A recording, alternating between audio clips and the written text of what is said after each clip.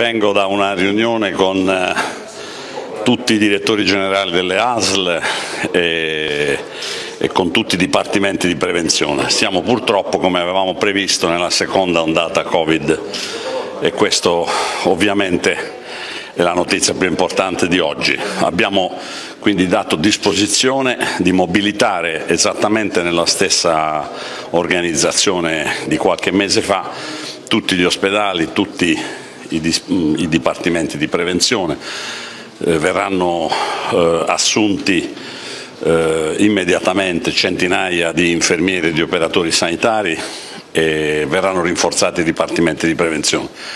Prevediamo nelle prossime due o tre settimane al massimo di avere un numero di contagi molto consistente, non diverso da quello degli altri paesi europei.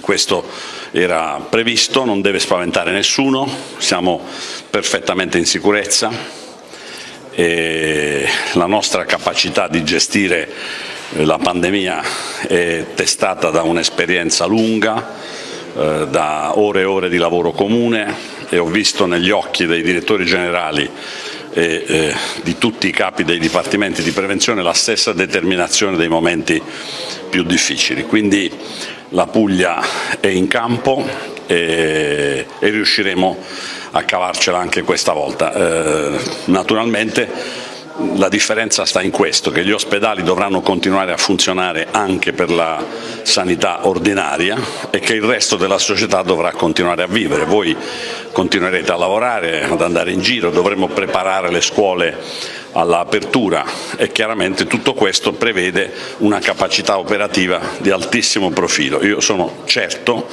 che tutta la Puglia sarà in grado di superare anche questa situazione così difficile.